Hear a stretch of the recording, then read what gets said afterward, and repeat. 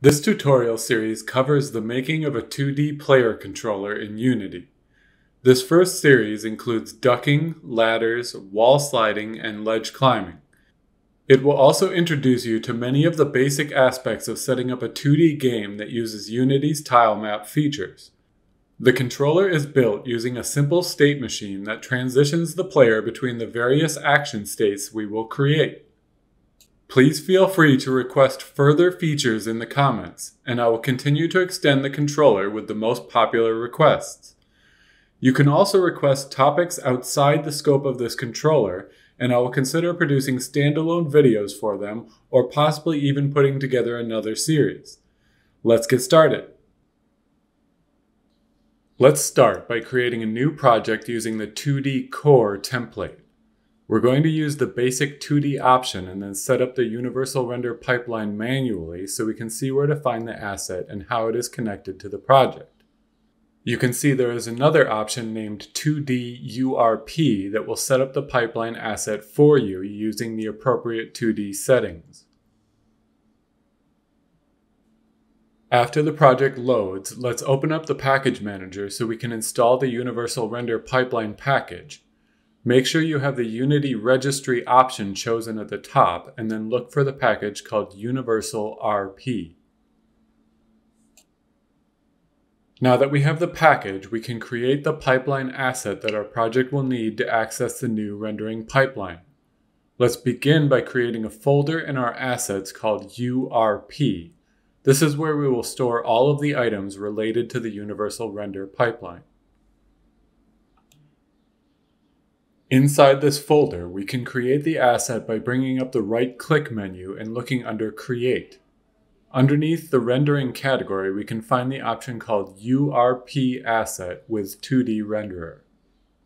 Let's keep the default name and just remove the word new from the beginning. This will generate two new scriptable objects related to the rendering pipeline. One of them is the pipeline asset, and the other is the 2D data object. The data object is where we can find many of the options that used to be under the graphics settings with the default rendering pipeline. We will come back to these options later when setting up our tile map. Now we need to connect this new pipeline asset to our project. We will do this by looking under Edit to find the Project Settings menu. Choose Graphics from the left panel, and here we can see some of the options that will be replaced by our new pipeline asset. Let's choose the asset by selecting it using the dialog that opens when clicking on the field under Scriptable Render Pipeline Settings at the top. This will warn you that making the switch may take a significant amount of time, but it happened almost instantly for me. Now that we have the pipeline connected to our project, let's save our scene for the first time.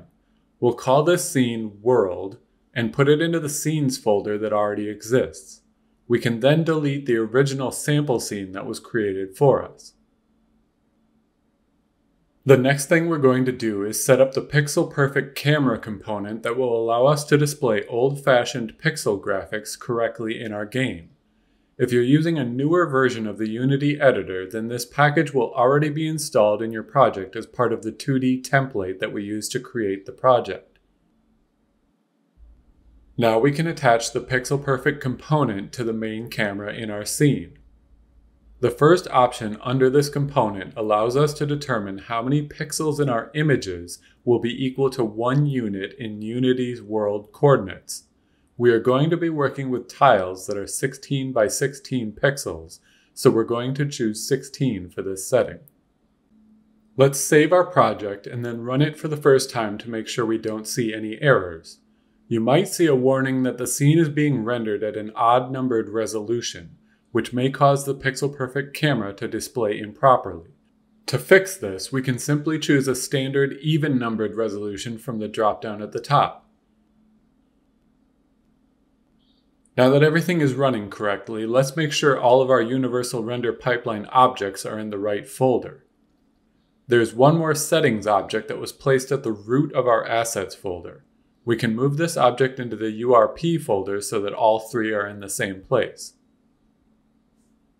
We're now going to import all of the images that we're going to use for this project. Let's start by creating the standard resources folder at the root of our assets folder. This is a folder that Unity will look for when we try to load resources while the game is running. If we right click, we can choose the Show in Explorer option to view the resources folder on our computer. This will allow us to copy the images we need into our project. The images are in this repo on GitHub. It's important that we use Git to clone the repo because the images are stored using LFS or the large file storage format. If we download the repo as a zip file, all we will get is essentially references to the images. We won't have the actual images. This is part of how Git deals with large files in order to make the process of tracking more efficient. So let's copy the repo's URL and then open up a terminal so we can clone the files onto our computer. Choose a location where you want to clone the repo with the cd command, and then use the git clone command to get a copy of the repo. Now we want to open another Explorer window and navigate to the files we just downloaded. Then we can copy the images folder into the resources folder we created in our project. When we return the focus back to Unity, it will automatically import these assets into our project. Notice that along with the images, we are also getting Unity meta files that contain some settings that will be applied to our images. Now that we have the images in Unity, let's take a look at some of the settings that were imported by the meta files. Just like how we set the ratio of pixels to units with our Pixel Perfect camera, we also want our images to have this same ratio of 16 pixels to one Unity unit. On top of this, we also want our images to have a custom pivot set. This is the point that will be considered the origin of the image when it is placed into the scene. By opening up the sprite editor, we can view this custom pivot that was set by the metafile. The default pivot point for images is the center, but we have the custom pivot set to be at the bottom center of the image. This is the point that will act as the position of the character when they are placed into the scene. Finally, we also need to set a few advanced options for each image to ensure that they are displayed correctly by the Pixel Perfect camera. We do not want any filtering or compression to be applied to our images, because this would blend together the pixels, ruining the pixel art look that we are going for. We have the filter mode set to point no filter, and the compression set to none for every image that was just imported. This is all handled by the metafiles. Most of these settings are all identical for the images we just imported, but I'll highlight one exception before we move on. We have a set of images that will be used when the player climbs a ledge.